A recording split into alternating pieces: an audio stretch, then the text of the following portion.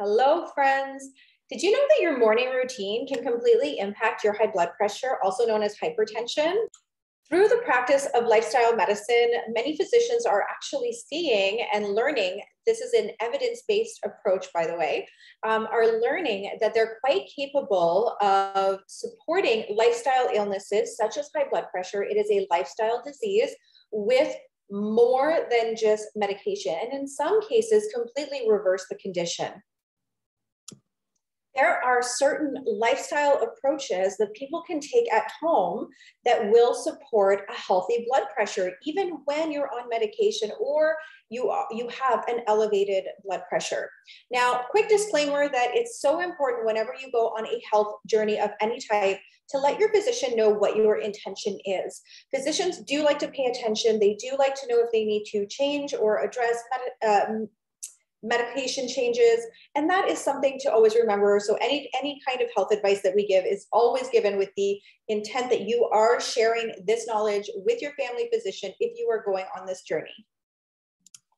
Our current approach to treating high blood pressure or hypertension is to give generally um, high blood pressure medication. These could be statins. These could be many different um, approaches. It just depends. And what often isn't addressed is the lifestyle and which is the underlying root cause. Now, should you choose not to do any of the actions that I'm about to share, this beautiful morning routine that's very simple to do and just as simple not to do, what would be the outcome? So if we look at statistics and progression of high blood pressure illnesses, often it actually starts to meld into more than one condition, which end up, ends up having a title of metabolic, uh, metabolic disease, which is usually a combination of high blood pressure, a high BMI, and diabetes. So if you have all of those markers, you then progress to having metabolic illness or disease.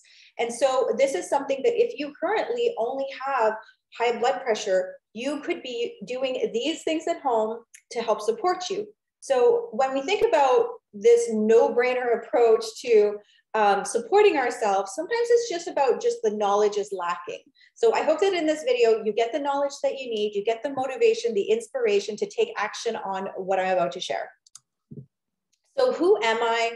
My name is Natalie Palto, and I am the co-founder of Blue Life RX. I have a certificate in lifestyle medicine from Weill Cornell with many other nutritional certifications that are very helpful when, when talking about illnesses and condition. I also have 21 years of background in frontline healthcare in CAT scan, bone mineral density, x-ray, which means that looking inside of the human body to uh, pathophysiology and um, illnesses and chronic illnesses is something I did for a very, very, very long time before transitioning full time into um, nutrition and lifestyle.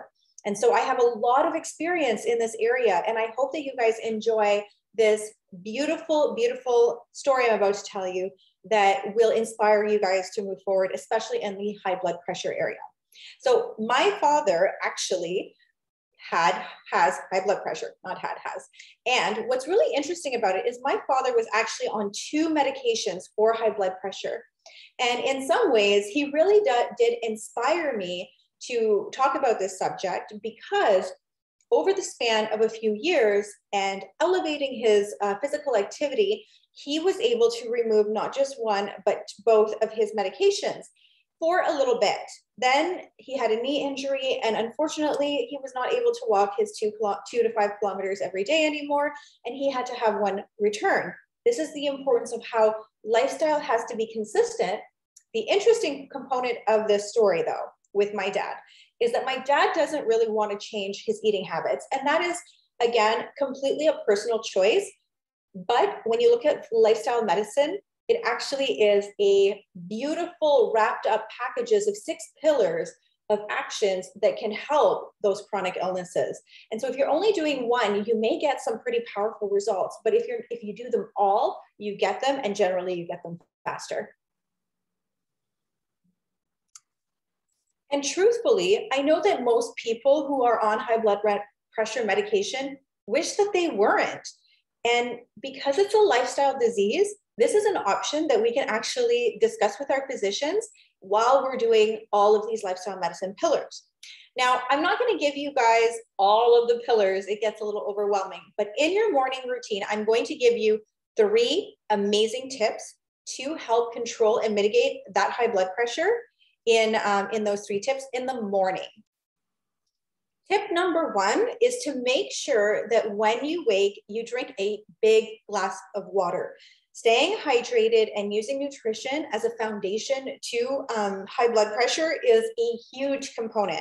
So, waking up to have a huge glass of water before you start your coffee routine or you start all of these other um, sometimes good or bad habits that we have in the morning is going to be extremely beneficial for your high blood pressure and staying hydrated throughout the entire day. Some people don't even notice how much impact this has, but it really, really does.